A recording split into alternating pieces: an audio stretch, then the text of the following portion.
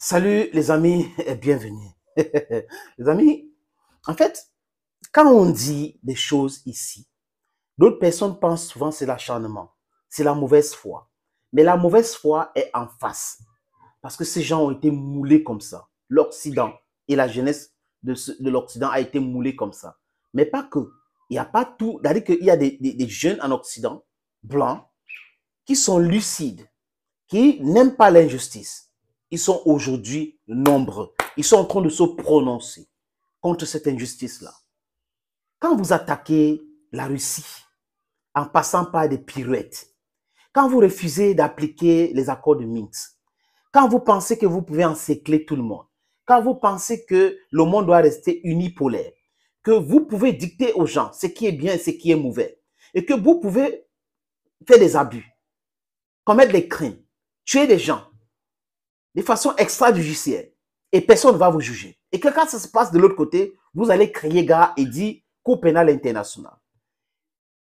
Ces coups même que vous ne respectez pas, que vous n'avez jamais ratifié, voilà les incohérences de l'Occident.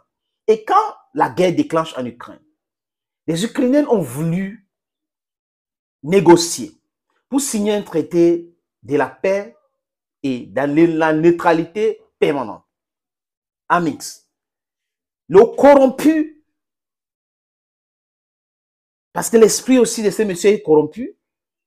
L'ancien journaliste Boris Johnson, il est arrivé à Kiev pour mentir. Et il a menti un menteur. Et un menteur qui croit au mensonge d'un autre menteur, c'est un club de mythomanes qui ne comprennent que rien.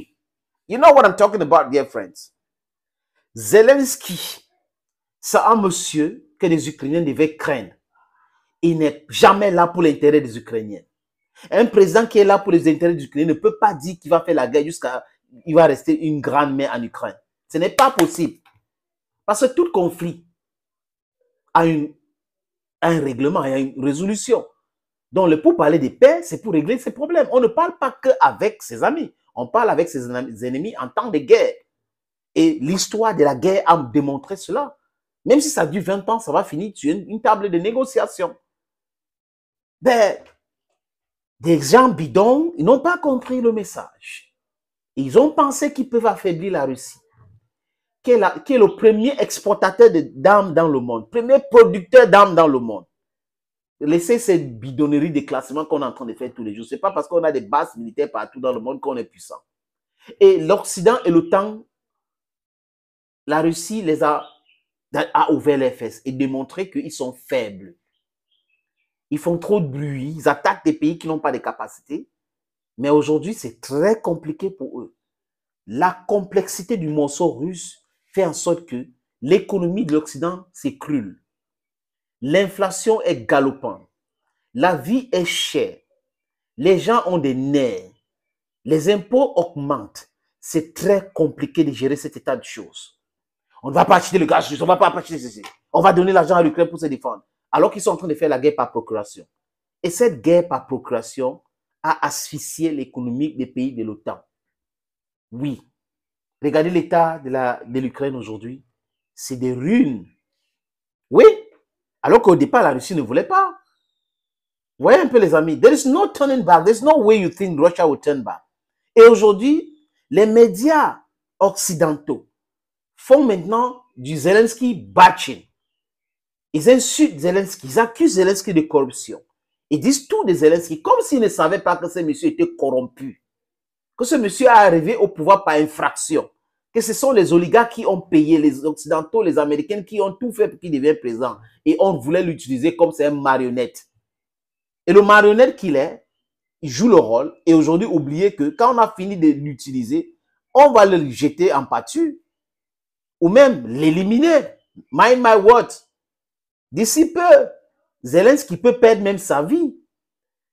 Et boum, un internaute qu'on ne connaît pas dit que Zelensky détourne l'argent que euh, l'OTAN envoie pour la défense de l'Ukraine. Il a acheté, il aurait acheté euh, une maison en Crimée, en Russie. Il aurait acheté une maison en, Italie. Il aurait, il aurait.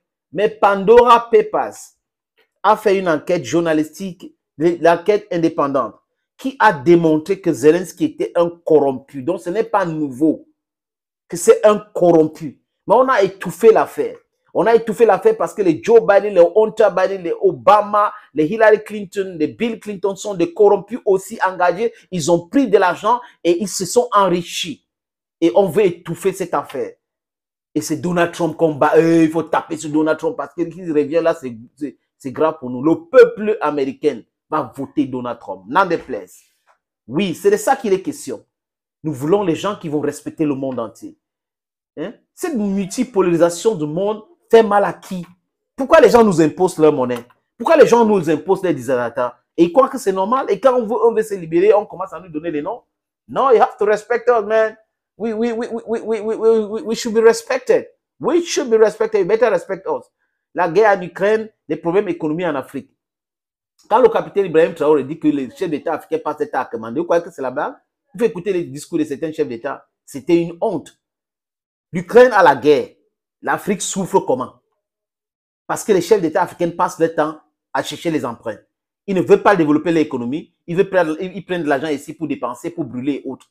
Et l'Afrique souffre. Quand l'Afrique a un problème, le monde entier ne souffre pas. Et arrêtez cela. Nous ne sommes pas dans vos histoires là. Ne nous mélangez pas avec vos histoires. Les amis, je vous fais écouter. C'est que l'ambassadeur, le rédacteur en chef de la propagande ukraine en Europe, il s'appelle quoi Pujadas. Oui, dit aujourd'hui sur son plateau de Zelensky. Zelensky qui était fort, Zelensky ceci, Zelensky est devenu maintenant Zelensky le corrompu. Regardons les amis. Volodymyr Zelensky aurait tout simplement détourné des sommes colossales de l'aide occidentale et il se serait constitué un patrimoine immobilier rutilant. Voyons de quoi il s'agit. Faisons la contre-enquête. Voici les indispensables avec Quentin Berichet. Bonsoir David, bonsoir à tous. Alors quelles sont ces accusations et qui les porte? Eh bien tout est parti d'un internaute allemand, pas connu avec très peu d'abonnés. Il publie la semaine dernière une vidéo largement partagée et repartagée en Russie mais pas que. On l'a retrouvé également sur des comptes sur les réseaux sociaux français.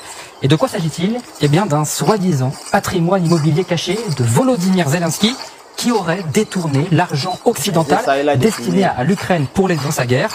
Écoutez la vidéo. Wofür gibt Zelensky sein Geld aus? Schauen Sie, Zelenskreis-Schloss in Libatia, Krim. Der Preis beträgt 25 Millionen Dollar. Eine Villa in Forte dei Marmi, Italien. Preis 20 Millionen Euro. Vor kurzem kaufte er eine Villa in England. Preis nur 27 Millionen Pfund. Woher stammt das Geld? Die CIA sagt, dass Zelensky 400 Millionen Dollar veruntreut hat, die von den USA und der EU für den Kauf von Treibstoff für die Ukraine im letzten Jahr bereitgestellt worden waren. Vous avez bien entendu, Volodymyr Zelensky aurait acheté pendant la guerre en Ukraine trois villas de luxe, une en Crimée, 23 millions d'euros, vous l'avez entendu, celle-ci également en Italie, 20 millions d'euros, et une dernière en Angleterre, 31 millions d'euros, le tout en détournant 400 millions de dollars d'aide venue des États-Unis, une somme qui devait initialement servir à l'Ukraine pour qu'elle achète du carburant pour ses véhicules de combat. Vous avez compris, l'argent pour acheter le, le carburant, détourné par Zelensky. 31 millions d'euros pour acheter une villa en Angleterre. 23 en Italie, 20 en Crimée. Voilà la personne qui défend l'Ukraine, qui défend les intérêts des Ukrainiens. you understand that you're not serious. The West is not serious. When I say the West, I'm talking about the corrupt leaders in the West. They are not serious. They are so corrupt. They are mingling into something that's too dangerous for their own population. Their own population is suffering and they are sending money to a thief, to a corrupt person. Pandora's paper said it clearly. You behave as if it was not happening. Now you know it's happening. And then you, you, you say un élément comme si il savait. Tout le monde sait, on a déjà fait des éléments. Tout le monde sait que Zelensky est corrompu. Tout le monde sait que l'Ukraine, c'est un État qui est corrompu. Même jusqu'à la sous-cour suprême. Il y a des éléments même jusqu'à la Cour suprême. Donc, c'est un pays corrompu. Même les armes qu'on envoie en Ukraine se retrouvent entre les mains des terroristes qui les détournent pour envoyer. Et vous demandez de soutenir l'Ukraine et tout ça là. Ça va vous apprendre. Thank you, friends, for watching. Bye bye for now.